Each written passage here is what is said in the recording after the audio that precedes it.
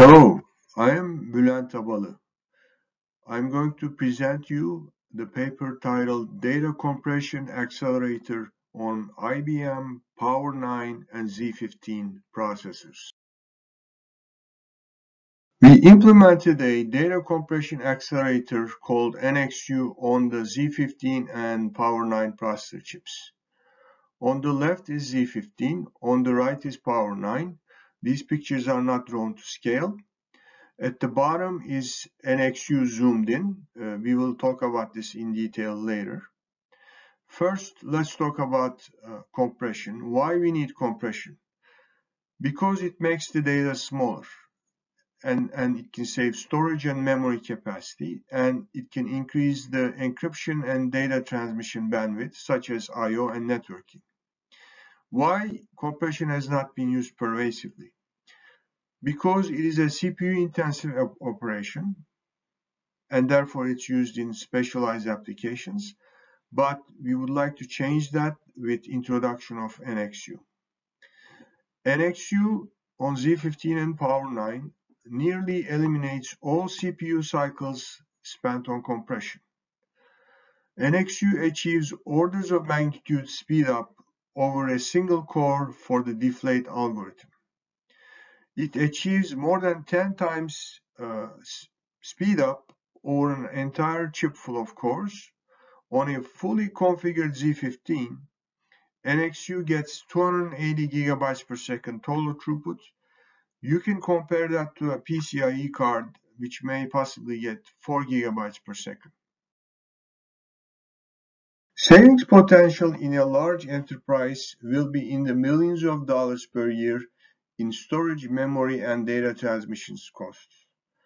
So to prove that point, I retrieved AWS prices from the web. Um, I used AWS because the prices were available. If you were to rent a petabyte of storage on AWS, you will pay nearly 290,000 per year. If the data were to compress by a factor of 4, 290k would drop down to 75k. A single memory server running Memcached or Redis would cost you 70,000 per year. But if the data were to compress by a factor of 2, the, the price would drop down to 35k. Not only you save in storage and memory, but you may also get application speed up. We have an experimental result that shows that 23% uh, speed up for Spark TPCDS uh, benchmark is possible. So IBM has employed compression hardware and software extensively in its products. These are some of the examples.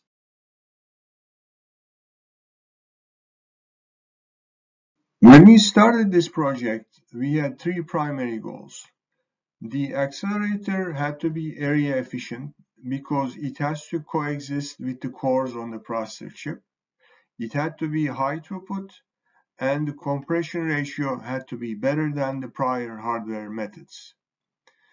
So the features and the novelties listed here helped achieve those goals and I will talk about these in detail uh, next. NXU uses the deflate method.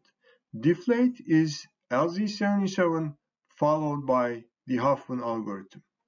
In deflate's LZ77 method, the most recent 32 kilobyte of raw data is used as a compression dictionary.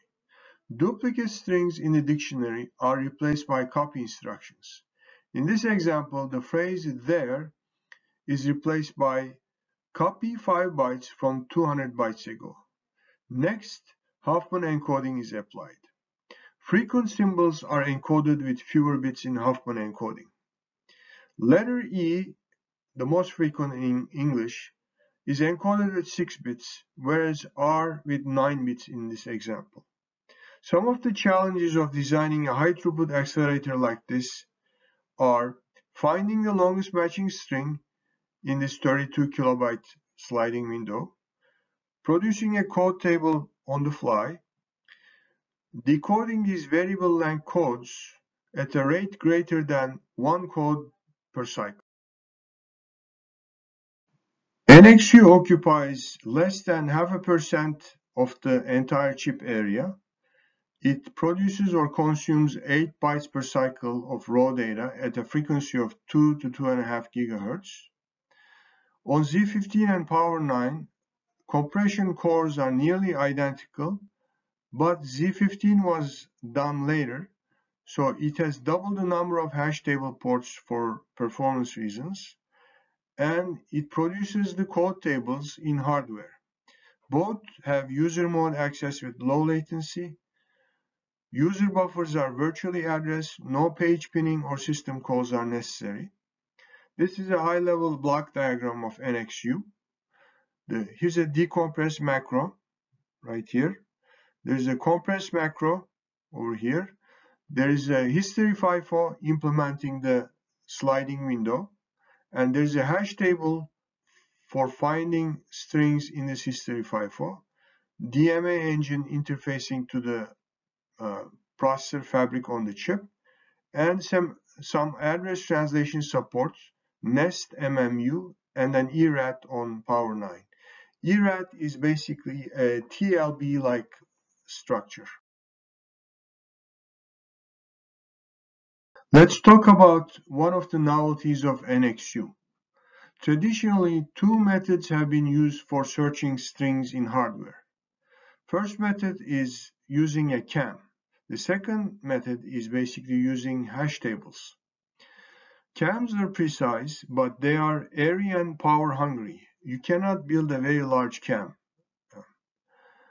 Hash tables, on the other hand, uh, they are area efficient, but they are imprecise and lossy.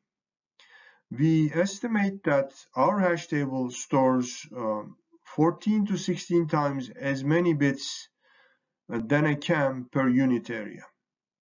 Now, we recognize from prior work that compression ratio levels off with increasing window sizes.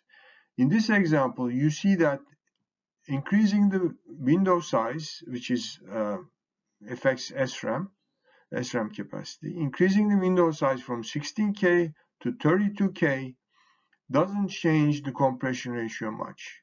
So we decided why not use the area efficient hash table in this region and use CAM in this region where the compression ratio matters the most.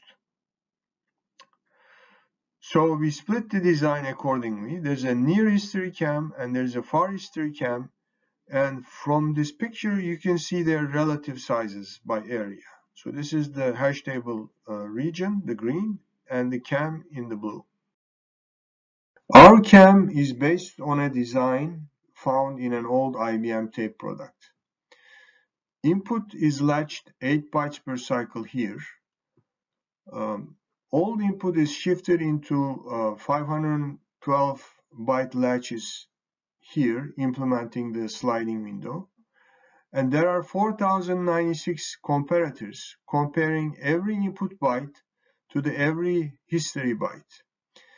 Um, strings are identified and a priority encoder uh, identifies the longest uh, matching string among all of them. This design also handles uh, strings, uh, string matches longer than 8 bytes. Um, if a match ends uh, at a cycle boundary, it will be indicated in these continuation registers. And if the match continues into the next cycle, it will be tracked and up to 258 uh, byte strings can be matched uh, through this design. Far history logic is basically a hash table operating like an 8-way set associative cache with 8 read and write ports. The input phrase is tokenized, um, 5 byte turned out to be optimal, Five, uh, eight overlapping 5 byte tokens are hashed into hash table locations. Here, the token there is hashed into an hash table row. In that row are eight addresses. These are the addresses that this token might have been seen before. Since there are 8 tokens, the hash table returns 64 history FIFO addresses where this phrase may be found. Those are filtered down to 2 because the history FIFO has 2 ports. And the history FIFO contents are compared to the input to find the longest matching string.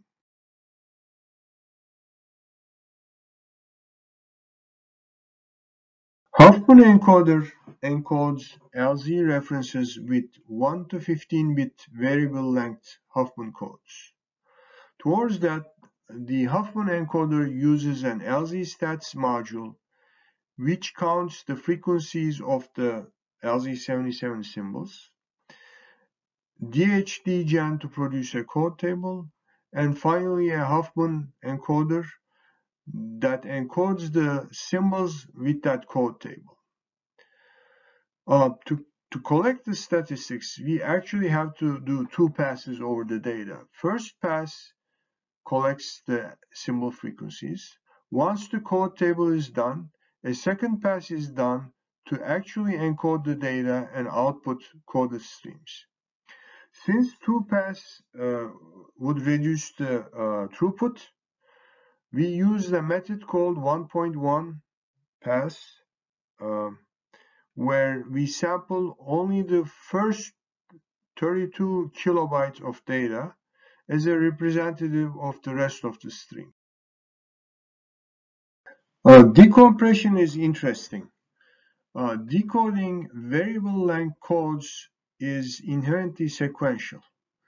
Uh, you cannot decode the next code until the current one is decoded, decoded because you don't know where the next code starts. These are variable length uh, codes.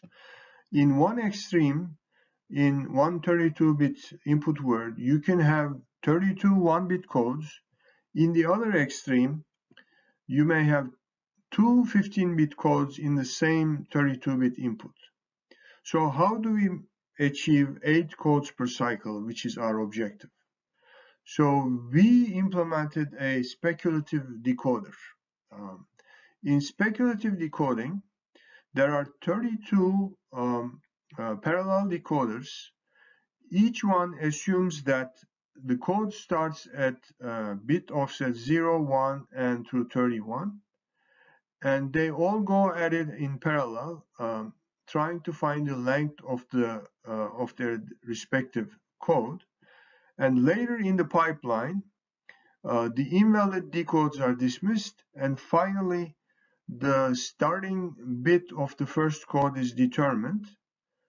And once the starting bit is determined, you hand off the entire word to a full decoder, and there are eight of those, and they all they can all go in parallel and produces the four LZ references as shown. Here's another interesting feature. On Power 9 Linux, uh, we wanted to have a very low latency and we wanted to minimize any kernel interaction. So a user mode uh, page fault handling library was implemented.